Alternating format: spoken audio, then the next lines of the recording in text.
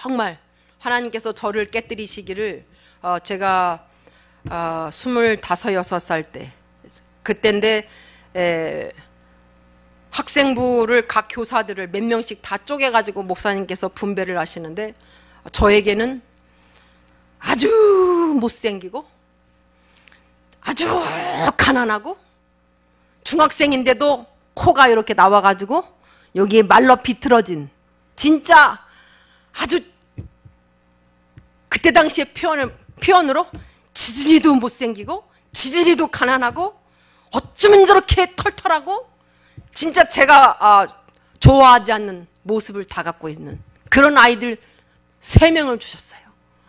다른 반들은 총명하고 명철하고 똑똑하고 공부도 잘하는 학생들 10명, 11명, 12명 이렇게 주면서 목사님 저한테는요.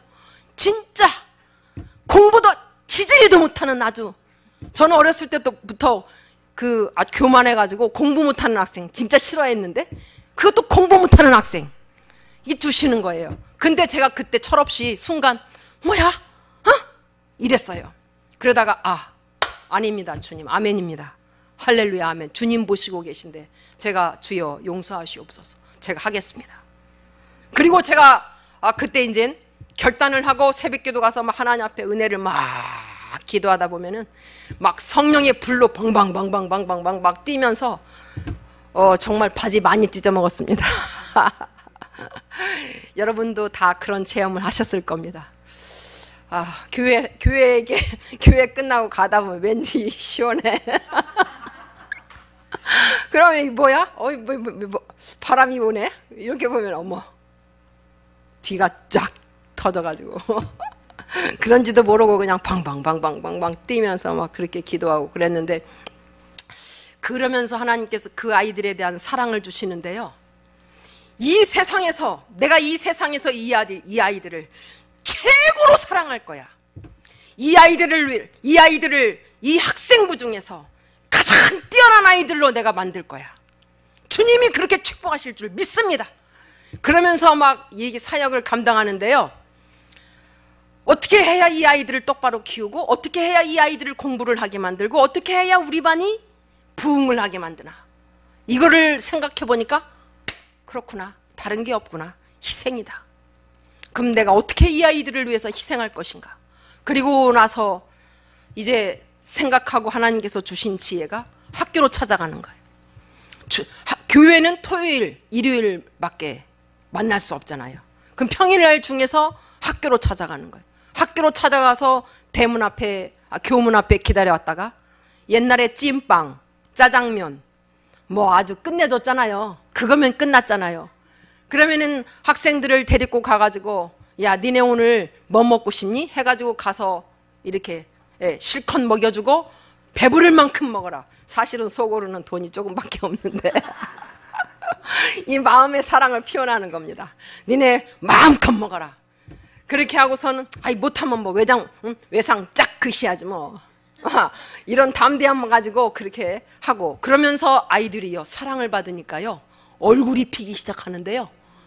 코 이코 마른 게 없어져 이게 없어졌어요. 자기 모습이.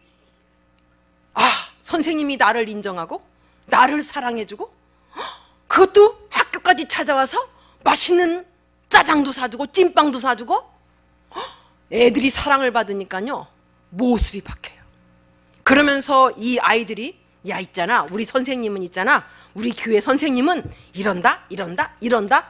애들이 나팔을 불어 가지고요 하나님께서 이 교회 우리 반을 부흥하게 하시는데 나중에 43명까지 하나님께서 역사를 일으키시더라고. 그러니까 목사님이 빙긋이 하루는 웃으시더니 저를 부르더니 아, 송 선생 이리 와. 저 대강당 가서 해. 아주 그냥 장을 내, 내 주시더라고요. 그러니까 저는 막 힘바람 나가지고 이래 여기서 어떻게 하면은 성령의 역사를 일으키나. 막 그래가지고 하나님 앞에 중심을 두고 이렇게 예, 기도를 하면은요. 아까 말씀드렸듯이 공과는 관계할 것도 없고 그렇다고 제가 설교를 준비해 가는 것도 아닙니다. 내 오늘 아이들에게 어떻게 설교하리라. 본, 본문도 몰라요. 그러고 그냥 가요 담대하게 그리고 가가지고 앉아가지고 조용히 하나님 앞에 잠시 기도하고 그리고 입을 열기 시작하면 하나님께서 지혜 지식의 말씀의 은혜가요 하늘로부터 샥 내려와요. 예화, 비유, 오, 얼, 저, 전하는 저도요 은혜 받아가지고 그 말씀에 쏙 빠지고 아이들이 43명인데 한 명도 없는 것 같아요. 조용합니다. 주일학교 전체 설교를 하게 되면은 교사들이 돌아가면서 하는데 다음 주에 난데 어떻게 해야 이 복음을 저 아이들에게 똑바로 전하지? 그러다가 아 아이들을 먼저 주목하게 해야 돼. 그러면서 제가 이제 그러면 어머니가 만들어 주신 색동 색동 치마 저고리를 어, 준비해야 되겠구나.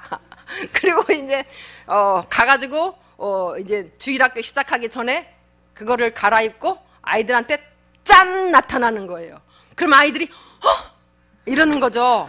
어 그러면은 하고 이제 니네들 지금부터 조용히 하나님 말씀 들어야 된다. 네 그러잖아요. 그러면 제가 그때 말씀을 전하면은요 하나님의 성령의 역사가 진짜 애들이 조용해요. 근데 신기한 것은 다른 교사가 하면은 또 막 장난하고 막 그래요. 이 제가 지금 무엇을 말씀드리냐면 여러분, 여러분 주님을 위해 죽으십시오. 생명을 바쳐 사랑하십시오. 한 영혼을 위해서 죽으십시오. 한 영혼을 생명 바쳐 사랑하십시오.